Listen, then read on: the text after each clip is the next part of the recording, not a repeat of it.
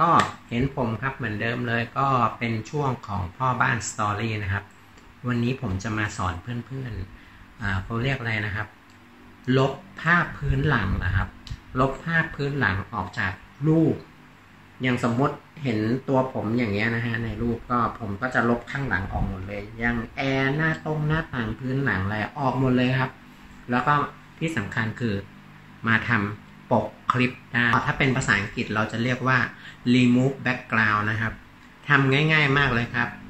แค่ดึงภาพลง เท่านั้นน่ะห้าวิเสร็จแล้ว ไม่ต้องมานั่งทำใน Photoshop ไม่ต้องลงโปรแกรมอะไรทั้งนั้นเลยครับ ไม่ต้องหนักเครื่องด้วย เดี๋ยวผมไปสอนวิธีทำให้ดูกัน ก็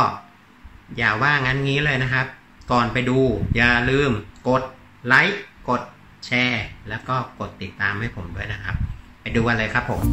อ่าครับ เรามาเริ่มกันเลยนะครับ โดยการที่เข้าไปที่ Google Page นะครับ Google เว็บไซต์นะครับ แล้วก็พิมพ์คำว่า remove background นะครับ บรรทัดแรกเลยนะครับ R E M O V E แล้วก็ B G นะครับผมอะกด search ไปเลย แล้วก็จะขึ้นมาเป็นอันแรกเลยนะครับ remove image background นะครับ ดู address ดีๆนะครับ www remove.bg นะครับ อ่า กดจิ้มไปเลยครับผม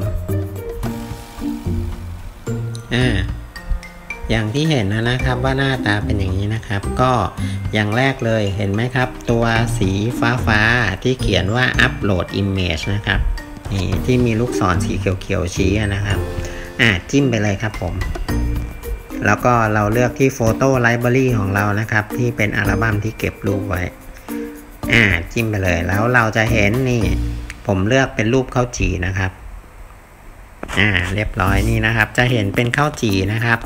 แล้วก็อันนี้เขาปีนอยู่บนไหล่ผมนะครับ ก็สิ่งที่เราต้องการรีมูฟออกก็คืออ่าพื้นหลังนะครับ ที่เป็นท้องฟ้าแล้วก็เป็นใบไม้เป็นต้นไม้นะครับอ่าเรากด choose ล่างขวาได้เลยครับ ต่อมาก็จะเป็นหน้าตาอ่าวินโดว์นี้นะครับ โอเค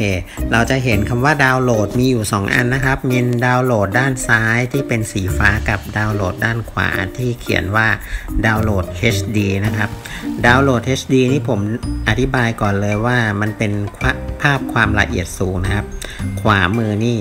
เสียตังค์ครับอ่าส่วนซ้ายมือสีฟ้านี่ไม่เสียนะครับ แต่ว่าใช้งานได้ดีเลยครับ แต่ว่าความละเอียดจะไม่สูงเท่า HD อ่าเราจิ้มไปเลยนะครับ ก่อนที่เราจะดาวน์โหลดภาพเก็บไปก็หน้าตาจะเป็นอย่างนี้ เขาก็จะถามว่าให้ Open ใน Instagram หรือเปล่าหรือว่ามอนะครับไม่ให้เรากดที่มอนะครับผมแล้วก็จะขึ้นมาเป็นอย่างนี้นะครับ ว่าข้างล่างเขาจะเขียนมี Copy มี Save Image กับ Assign to Contact นะครับ ให้เราเลือกไปที่ Save Image นะครับอ่าเรียบร้อย ตอนนี้ดาวน์โหลดให้เรียบร้อยแล้วนะครับ เรา ดูกันตรง